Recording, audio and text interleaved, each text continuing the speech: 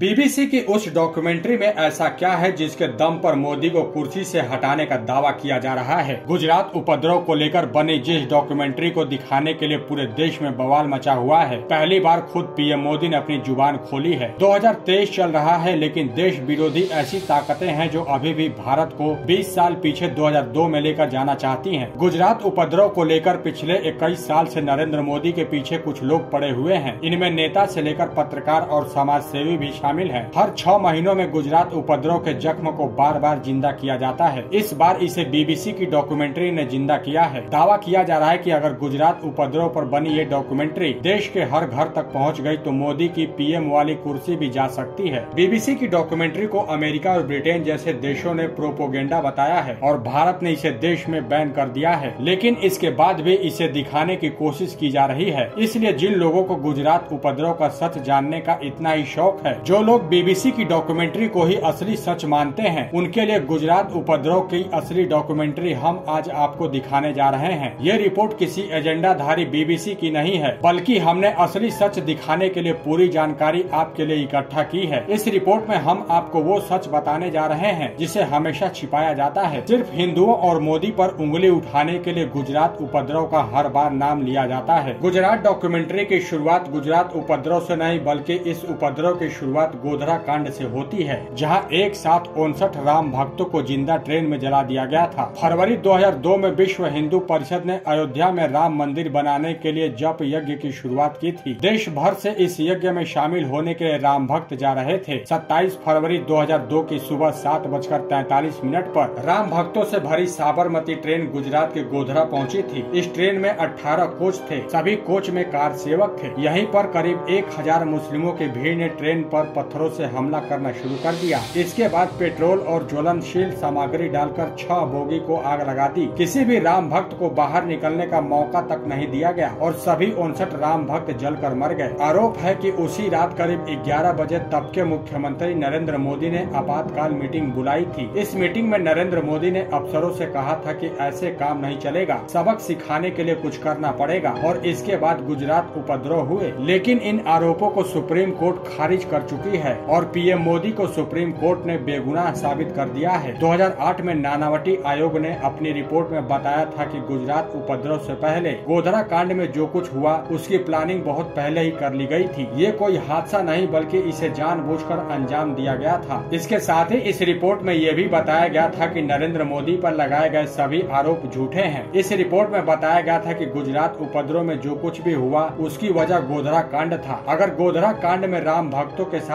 ऐसा हादसा नहीं होता तो शायद गुजरात उपद्रव भी नहीं होता। आईपीएस संजीव भट्ट और समाज सेवी तीस्ता सितलवाड़ जैसे लोग, जिन्होंने पैसे देकर मोदी को फंसाने की साजिश रची थी, इस वक्त सुप्रीम कोर्ट के आदेश के बाद जेल में बंद है। जाँच में तो ये भी खुलासा हुआ था की गुजरात उपद्रव के बाद मोदी को फंसाने के लिए तीस्ता सितलवाड़ को सोनिया गांधी के इशारे पर फंडिंग भी की गई थी। ऐसे में सवाल है कि गुजरात उपद्रव का नाम लेकर सिर्फ़ मुस्लिमों का दुख ही क्यों दिखाया जाता है? बीबीसी की डॉक्यूमेंट्री में सिर्फ़ गुजरात उपद्रव को दिखाकर मोदी को टारगेट किया गया है, लेकिन जिस गोधरा कांड की वजह से गुजरात उपद्रव हुआ, उसे नहीं दिखाया गया। ऐसे में सवाल है कि आखिर जब भारत की सुप्रीम कोर्ट ने नरेंद्र मोदी को बेगुनाह साबित कर दिया, फिर कब तक ऐसी झूठी कहानियाँ बनाई जाएँगी? पूरे विवाद के बीच पहली बार पीएम मोदी ने जवाब देते हुए देश को सचेत किया है और कहा है कि देश में लोगों के बीच दरार पैदा करने की कोशिश की जा रही है। इससे सचेत रहने की ज़रूरत है। पीएम मोदी ने कहा कि इस तरह के प्रयास सफल नहीं हो पाएँगे। सिर्फ़ देश को भड़काने और आपके अंदर जहर फैलाने के लिए इसे बनाया गया है। दोस्तों, इस रिपोर्ट पर अब आपकी क्या राय है, हमें कमेंट करके ज़रूर बताएँ और इस वीडियो को शेयर ज़रूर करें।